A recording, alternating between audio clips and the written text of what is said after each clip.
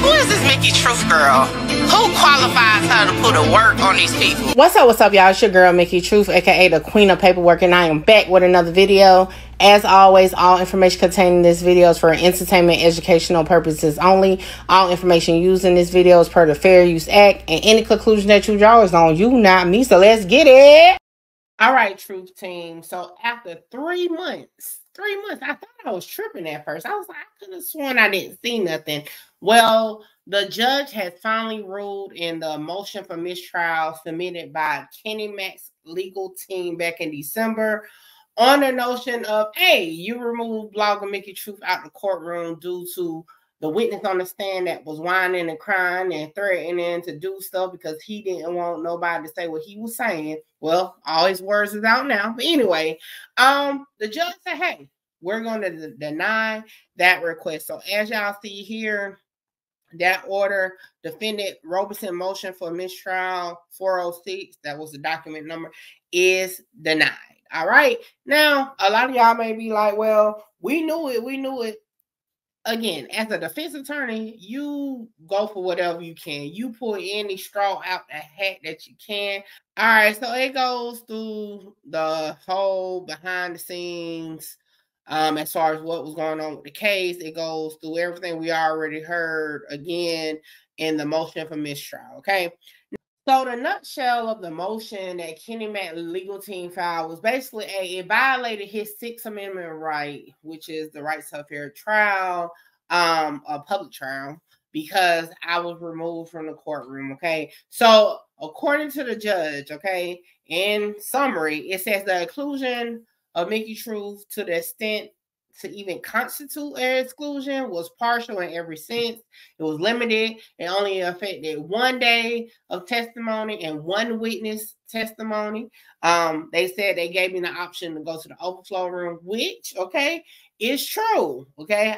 I just didn't know what type of room they were trying to take me in. And hey, unlike okay, some other people involved in this case, I wasn't feeling going up in no room, no police. Okay, so yeah, that is definitely correct. And they also said, like, hey, she only came for a few days. She wasn't here um, every day. She's not a friend or a relative of any of the defendants. So, like, her not being able to sit in is not that deep, basically, in a nutshell, right? It also says that, hey, she had opportunity to return. However, she chose not to, which is true. They did. The government and the defense wanted me to come back. I said, no, no, no, no yeah, I got me up there with that foolery one time. I ain't coming back. Okay. Um, um, they further goes on to say, hey, also, um, Roberson legal team did not provide any cases where this situation turned out differently on the appeal level. So the judge felt confident enough to say, hey, her ruling is going to stand on that. Also, um, hey, it basically just said try again. basically, that's what it comes down to.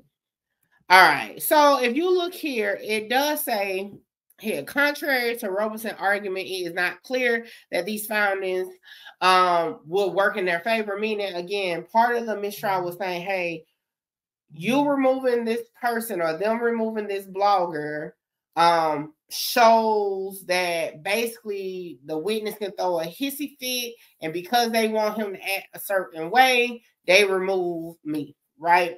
But the judge is like, hey, this man been acting crazy on the stand anyway. She don't see how removing this blogger will do anything besides keep the blogger safe and other people in the courtroom safe because this person, like the officer said in their affidavit, was willing to jump over whoever and do whatever to attack Mickey Truth. Okay. The same blogger he said he doesn't know or care about did all this. And uh, pretty much that's it. And this was just done again a couple days ago.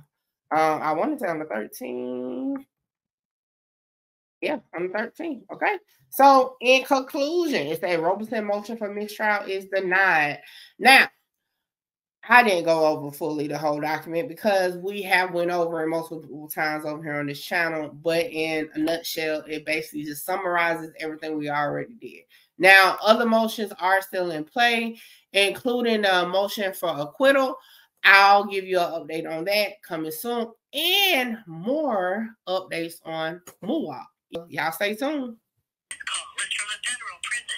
Hello. Whoa. Girl Mickey Truth. And as always, donations are welcome to support the channel. Hit the cash um, out Mickey Truth 2022. Holla. I'm Shout out Truth. Mickey. Mickey, you gonna be big. Like Yeah, what a I- I team. love- trying to conquer the world. Coming from where I come from.